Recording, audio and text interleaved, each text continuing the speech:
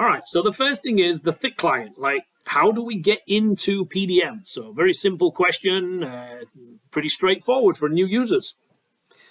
All right, so this interface you're looking at right now, this is just Windows Explorer. I'm pretty sure everybody on this call is familiar with this. It's your, your computer screen, and when you fire up your computer, you have the ability to jump through your local drives. You may have network drives that you map to. You may have things like Dropbox or OneDrive or something like that. Traditionally, we see a lot of people use a network drive.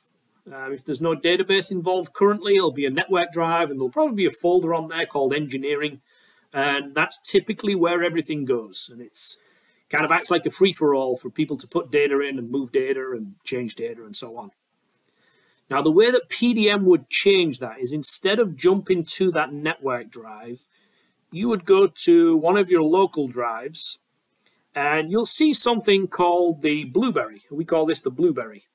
Now I have two vaults on my computer, and I'm going to focus on this one today.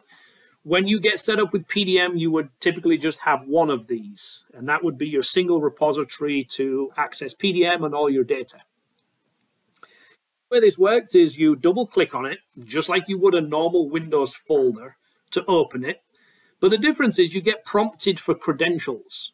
Now, these credentials are managed by your PDM administrator internally to your organization.